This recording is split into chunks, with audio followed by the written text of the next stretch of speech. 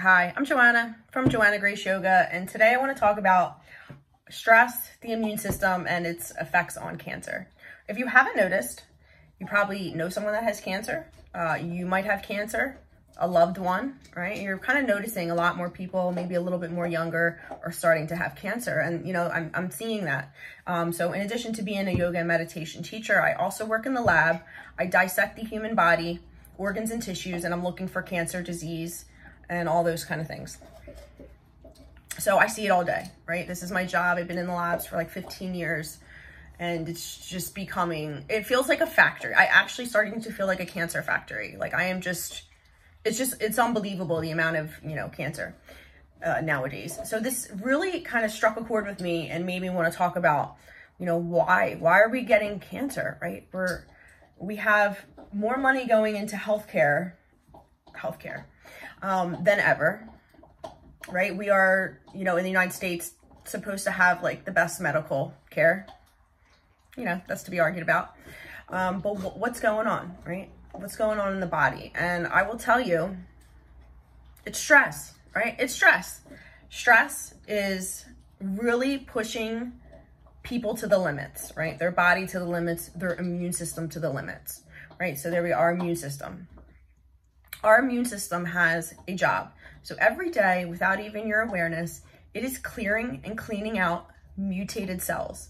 These mutated cells, if they're not cleaned out, can also just kind of turn into, um, can grow out of control and turn into cancer, right? And that is what it is. It's a mutated cell that grew out of control and now kind of just invading your body.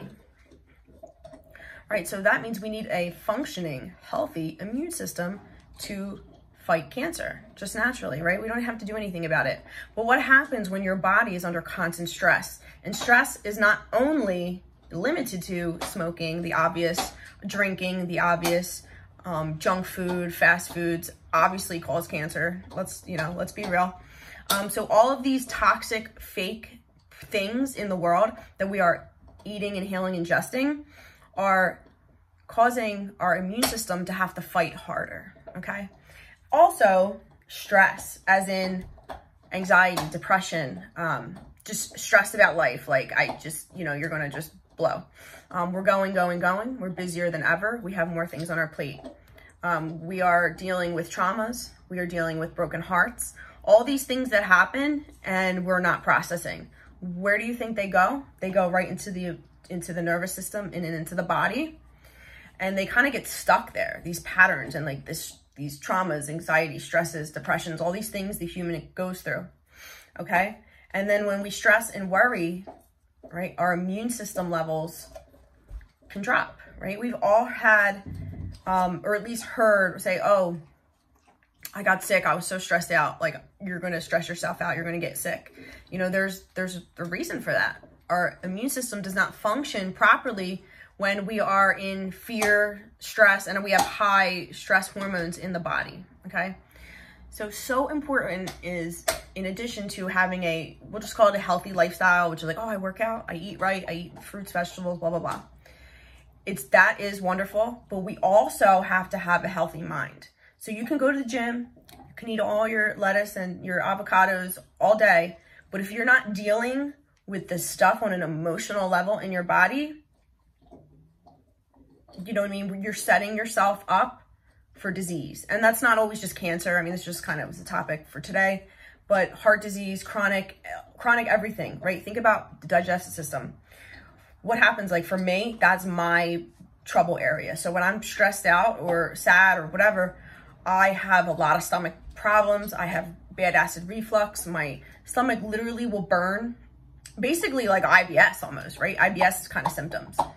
And that's the stress and chronic inflammation in my body rising, right? So think about it. Stress goes up, chronic inflammation in the body goes up, immune system levels drop, risk of cancer goes up. Does that make sense? You know, it's kind of, it, it's a complicated topic because there is no one way someone can have cancer. There's, it's a, there's a lot of paths. That's why there's like not, you know, there's a lot of paths to it. But I just want to give people kind of a little bit of understanding of a really complex topic to simplify it. Okay.